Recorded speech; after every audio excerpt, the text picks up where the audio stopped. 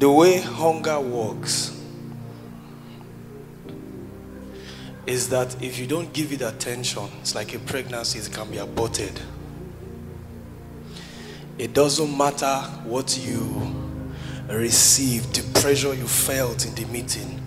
If you don't guard the ground you gained, the progress you made, it can be aborted. By the grace of God, I know what it means. Pastor Danladi was even a part of that retreat 90 days in God's presence. I have seen people look nothing like three months with God because of this same disaster of being distracted. So, on behalf of the organizers, I am apologizing if at any point we have been a distraction to the journey you are making. I want to advise you to be wise. That thing you are feeling now, you were not feeling it before now.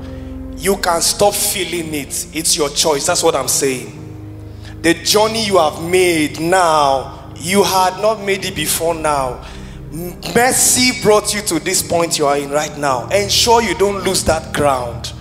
And how do we guard the ground? Shut up. Avoid distractions. Stay away from any conversation that will take you on a journey backwards. If you need to go to your room and stay there and shut up for once in your life, shut up. We're saying this because God doesn't work with crowd. We said this yesterday. If five people in this campus can have sense,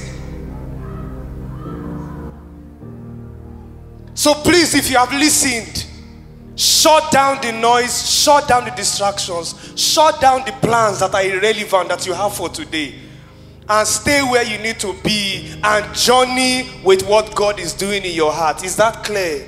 That's basically what we are saying.